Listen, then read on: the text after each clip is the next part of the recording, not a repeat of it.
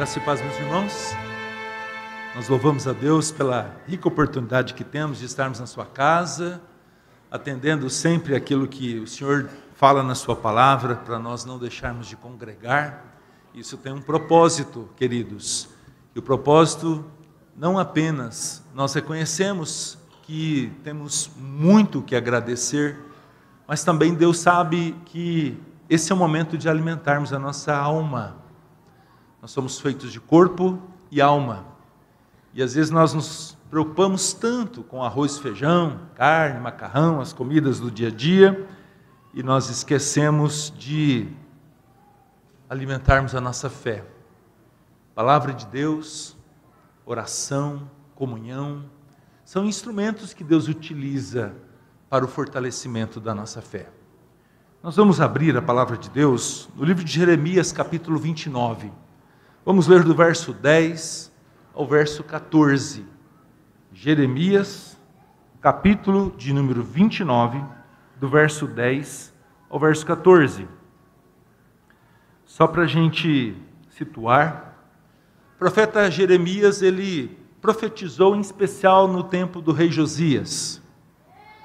Josias foi um rei segundo o coração de Deus. Ele promoveu profundas reformas Reformas que o seu pai Amon, o seu avô Manassés, eles tiveram cuidado de destruir a adoração, a reverência. O povo de Deus caminhou por caminhos da idolatria, adorando astros, todo tipo de divindade, e eles, eles trouxeram para dentro do templo toda uma parafernália, queridos, de instrumentos, de adoradores desses deuses, e o Senhor não se agradou disso. Jeremias, ele é levantado por Deus para dizer: meu povo, Deus não está satisfeito com a vida que nós estamos vivendo. E se você olhar no decorrer da sua, do seu livro, por 23 anos, desde a alva até o anoitecer, Jeremias é levantado por Deus com essa mensagem: se arrependam voltem-se para Ele.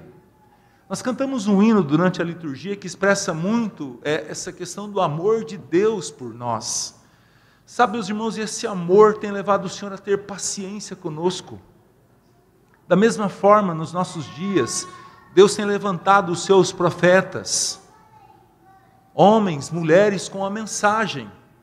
Tenham vida de santidade, uma vida de consagração, e meus irmãos, a, a estratégia diabólica mudou. Nós não temos mais arenas aonde os fiéis são jogados para lutar com feras. Não. A estratégia é outra. A estratégia é inserir o mundo nos nossos corações.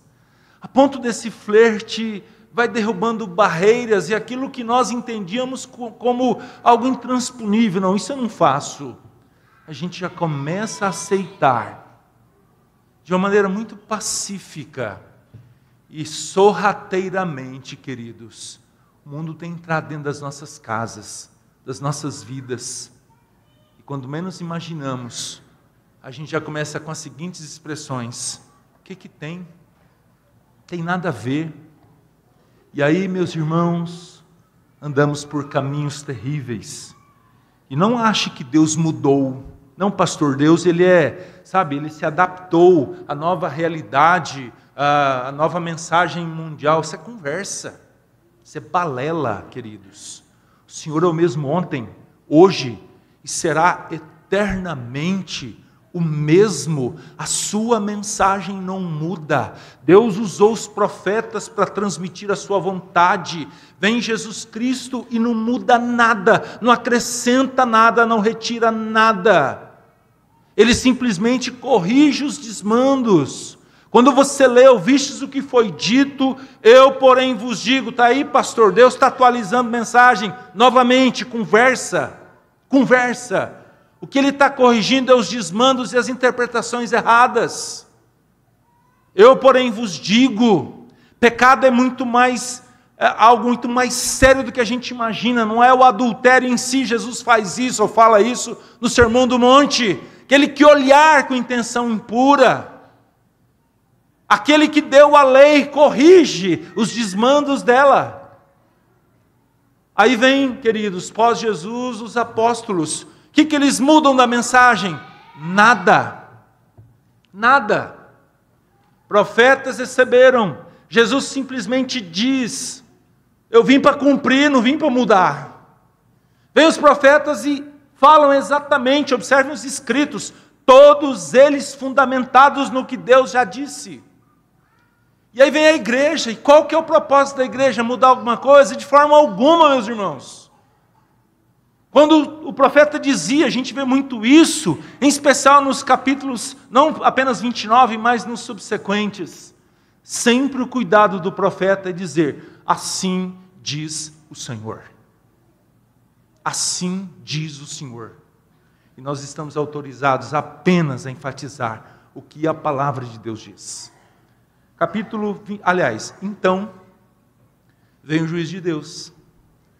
Os capítulos anteriores ao 29, Deus levanta um rei terrível. Você vê o profeta Abacuque, que foi contemporâneo de Jeremias, falando: Meu Deus, o senhor está usando esse povo caldeu. Olha a maldade deles, olha o que, que eles fazem. Os seus cavalos são como leopardos, eles voam por cima da presa. Os seus soldados, eles não têm pena de ninguém, não dó. É esse povo, Senhor, que o Senhor vai usar como seu chicote para corrigir a nós. E Deus fala: É, eu não estou brincando.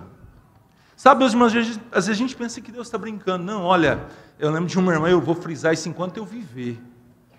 Uma irmã disse assim para sua filha: minha filha, não liga muito para o que o pastor está dizendo, sabe? Ele é obrigado a falar isso, sabe? Ele recebe do conselho da igreja para falar isso, então não se preocupa com tudo aquilo que ele fala.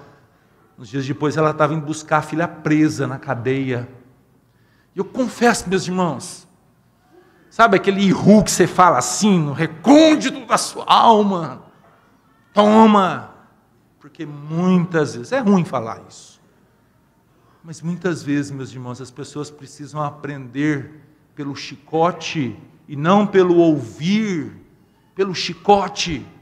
E parece que tem gente que tem essas preferências, sabe? Senhor, bate, porque eu sou surdo. Tá? Eu sou surdo. E aí, queridos, o povo é levado cativo, e o texto que a gente vai ler é justamente uma carta que Jeremias escreve de Jerusalém para esses cativos, para esses que foram levados para o exílio, para a Babilônia. E uma parte dessa carta eu queria compartilhar, e o propósito da mensagem nesta manhã, queridos, é falar do amor do Senhor, fundamenta a nossa esperança. É o amor de Deus por nós que fundamenta a nossa esperança. Eu espero que ao final você creia nisso e tenha isso como seu propósito lembrando sempre deste amor diante de todas as situações que nós vivemos. Vivemos. Assim diz a palavra do Senhor, Jeremias 29, versos 10 a 14. Assim diz o Senhor: Logo que se cumprirem para a Babilônia setenta anos, atentarei para vós outros e cumprirei para convosco a minha boa palavra, tornando a trazer-vos para este lugar. Eu é que sei que pensamentos tenho a vosso respeito, diz o Senhor. Pensamentos de paz e não de mal, para vos dar o fim que desejais.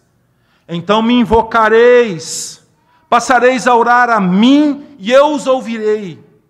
Buscar-me-eis e me achareis quando me buscardes de todo o vosso coração, serei achado de vós, diz o Senhor, e farei mudar a vossa sorte, congregar-vos-ei de todas as nações, de todos os lugares, para onde vos lancei, diz o Senhor, e tornarei a trazer-vos ao lugar de onde vos mandei para o exílio.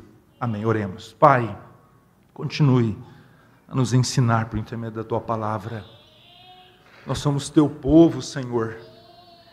Precisamos do ensino, da direção do Senhor. Não queremos pecar contra ti.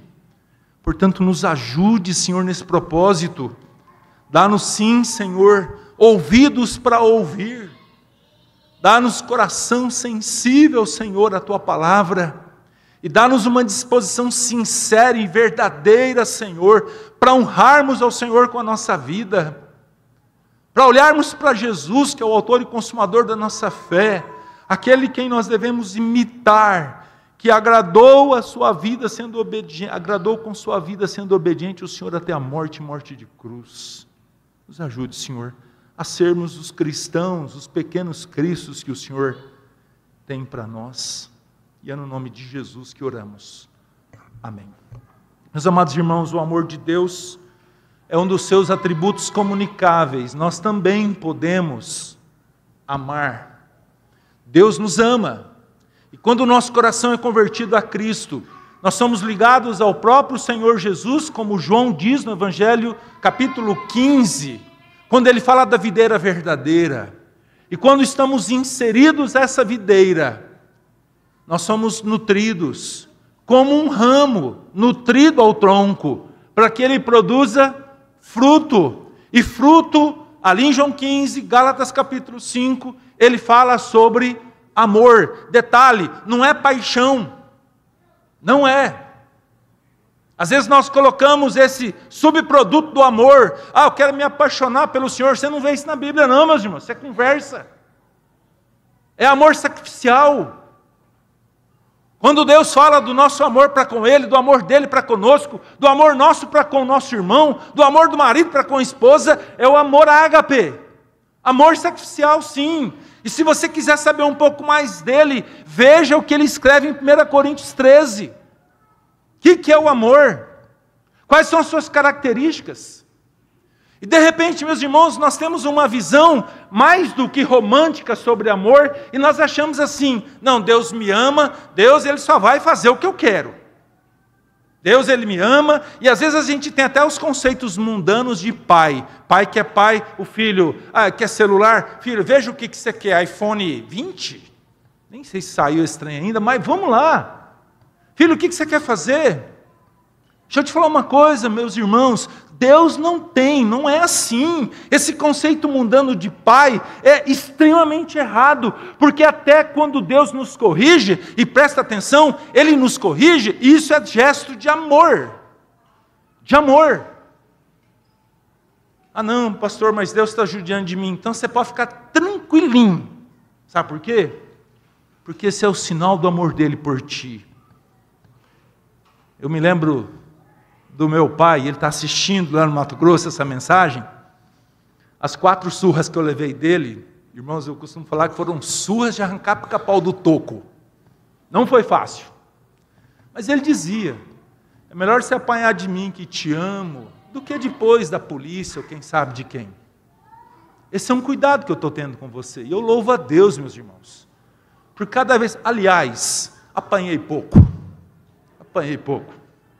Mas vamos lá, até nesse momento. E de repente surge essa pergunta, mas pastor, como é que a gente entende o amor de Deus, por exemplo, em momentos iguais a esses que nós estamos vivendo, guerras, rumores de guerras, sabe, as pessoas, o esfriamento do amor, né? Você vê pessoas assim com tamanha maldade, coisas acontecendo assim debaixo do nosso nariz. Como é que a gente pode mostrar ou falar que Deus nos ama? Meus irmãos, a volta de Jesus é a manifestação do amor de Deus. E os sinais que antecedem a volta de Jesus são muito claros em Mateus capítulo 24.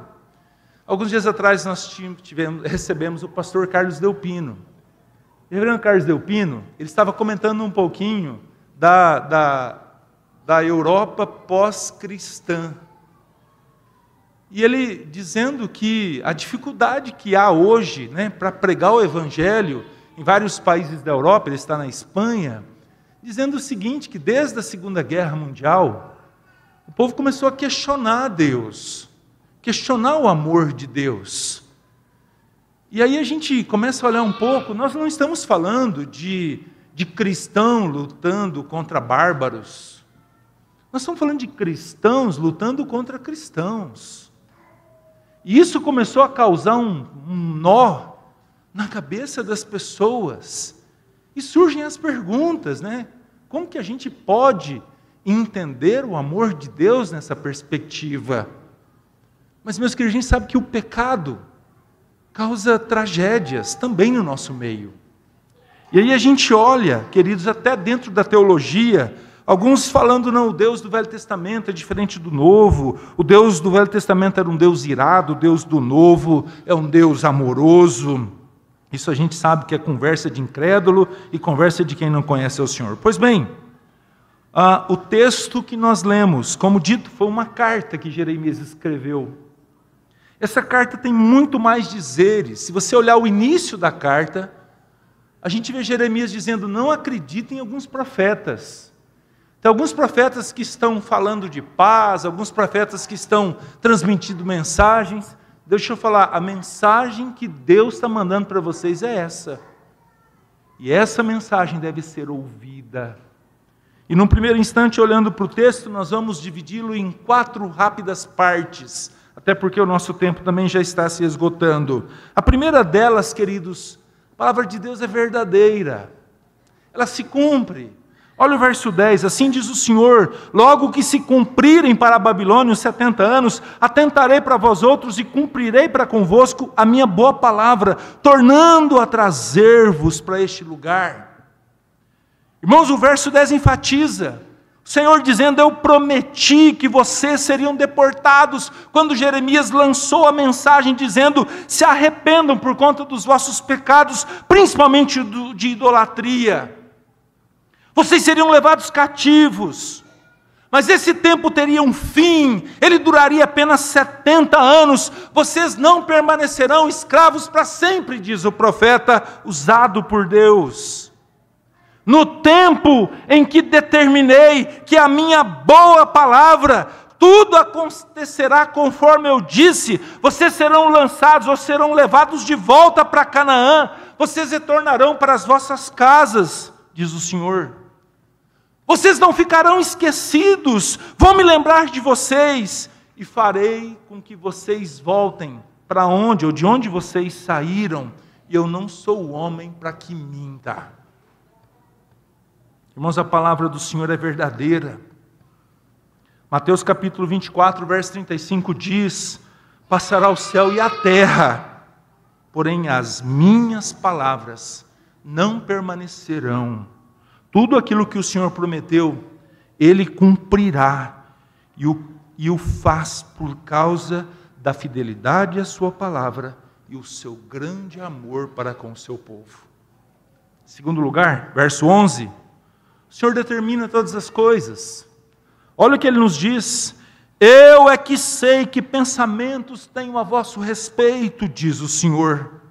Pensamentos de paz e não de mal, para vos dar o fim que desejais. Meus irmãos, nós precisamos lembrar sempre que não é um homem quem planeja todas as coisas, ainda que esse homem seja um profeta como Jeremias, quem faz isso é o Senhor, é o Senhor quem faz todas as coisas e transmite aos seus emissários o que eles devem falar. O profeta só pode falar aquilo que está autorizado pelo Senhor, e por que o Senhor enfatiza essa mensagem, queridos, porque ele diz: Eu é que sei que pensamentos tenho a respeito de vocês. Pensamentos aqui também podem ser traduzidos por planos.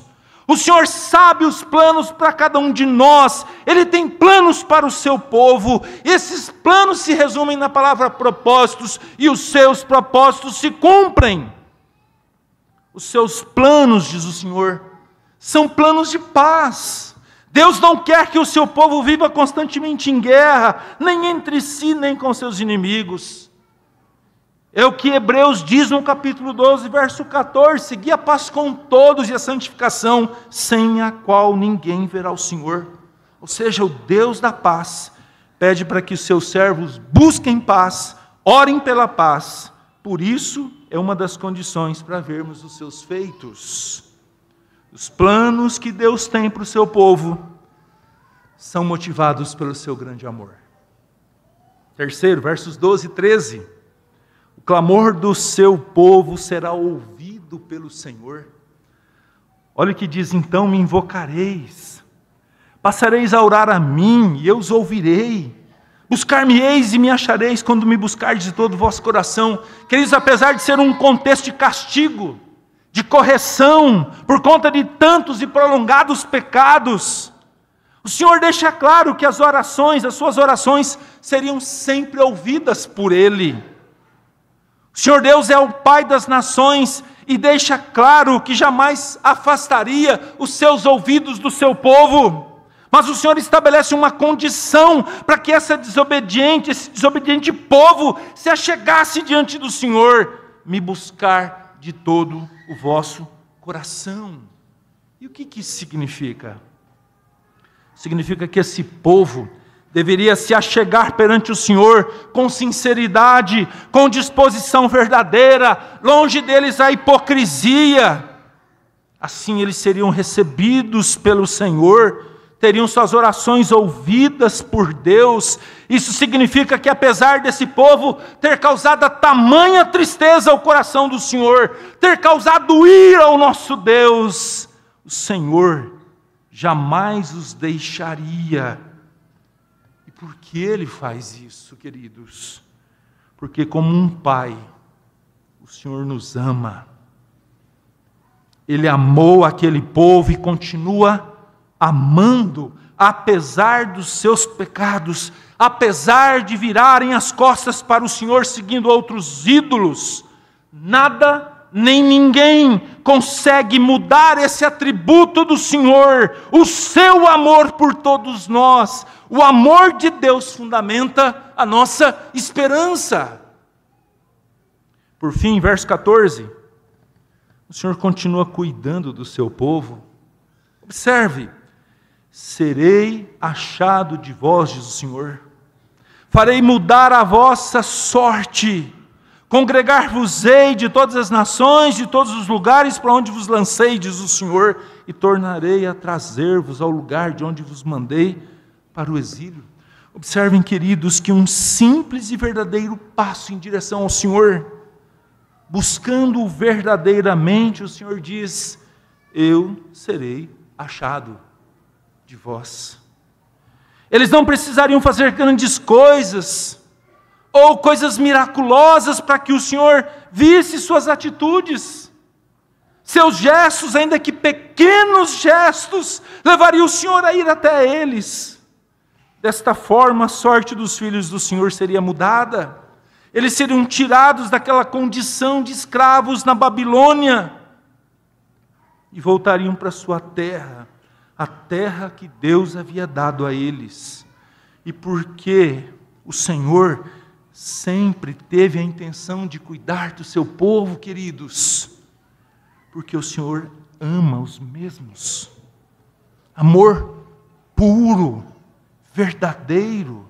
Ele nunca deixou de amar o povo da sua aliança, mesmo com varas nas mãos por conta de erros Sempre esse Pai Celestial deixa claro a manifestação do seu amor, mesmo no momento que ele pesa a sua mão, no menor desejo de buscar o Senhor, o Senhor ia até esse povo. Que amor é esse? Um amor puro e verdadeiro. Diante disso, queridos, trago algumas conclusões e a primeira delas: nada nos separa desse amor. Nada.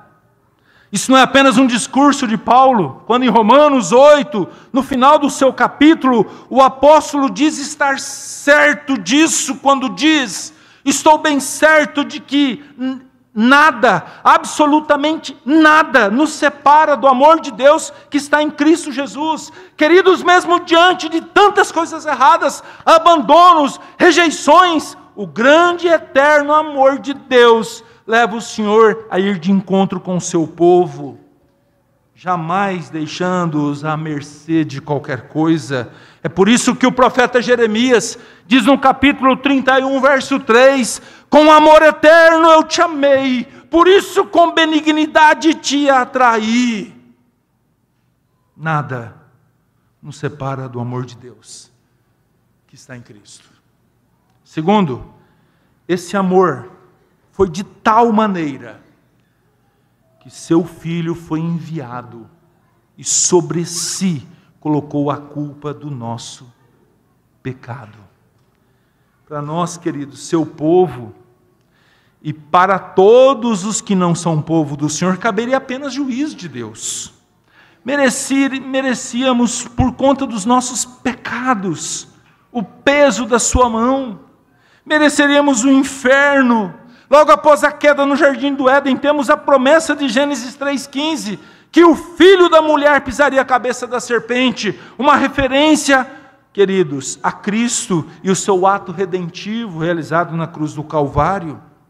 O sacrifício de Cristo, Cordeiro de Deus, foi a prova de amor do Senhor, redimindo o seu povo de todos os seus pecados, conforme Romanos capítulo 5, verso 8, quando diz: Mas Deus prova o seu próprio amor para conosco, pelo fato de ter dado Cristo, ou de ter Cristo morrido por nós, sendo ainda nós pecadores. Primeiro e o único Filho de Deus, puro e sem defeito, recebeu os horrores do juízo na cruz, repito, que era contra nós, e por este ato fomos perdoados de todos os nossos pecados.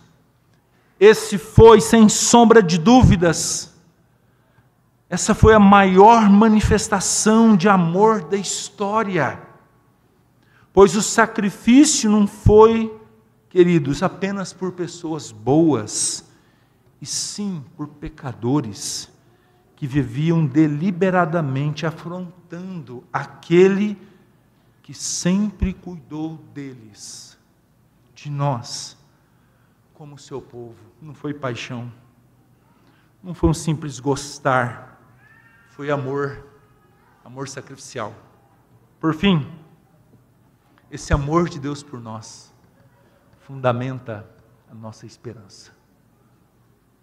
Nossa esperança não está fundamentada em um Deus vingativo, como pregado de repente entre muçulmanos, mesmo que Alá seja a mesma raiz de El, Deus, o pai de Abraão, porém nunca foi e nunca será o mesmo. O Deus descrito como pai de Abraão enviou Jesus e não Maomé. Foi o Deus que não poupou o seu único filho para nos salvar. É esse Deus amoroso a nossa esperança. As provas de que Ele nos ama, nos ama já foram dadas. São incontestáveis, irrefutáveis, perfeitas. Portanto, a nossa esperança tem fundamento, e fundamento sólido, que jamais passará que é o amor de Deus. Não devemos temer, queridos, nada nem ninguém. O Deus que nos ama nunca deixará o seu povo, nunca nos abandonará, será sempre o nosso supremo pastor.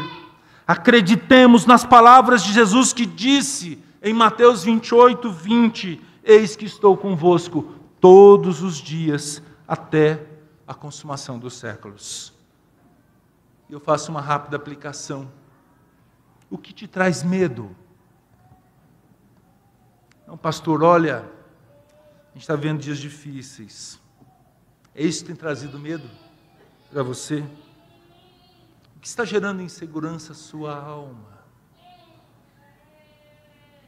Creia num Deus que já provou o seu amor por nós. Nele e somente nele nós podemos depositar a nossa confiança e a nossa esperança. Por amor, Ele jamais nos abandonará. E por amor, Ele nos corrige para aperfeiçoamento. Pastor, estou sofrendo, estou sentindo o chicote de Deus no meu lombo. Reveja a vida como a, a vida que você tem vivido. Reveja, observe passa ela à luz ou pelo crivo da palavra. O que, que tenho feito de errado que tem levado Deus que me ama, porque Ele me ama, a me corrigir? Uma vida de santidade que agrada a Ele.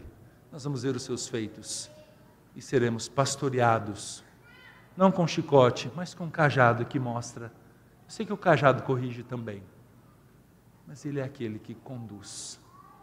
E nós louvamos a Deus pelo seu grande amor. Vamos orar?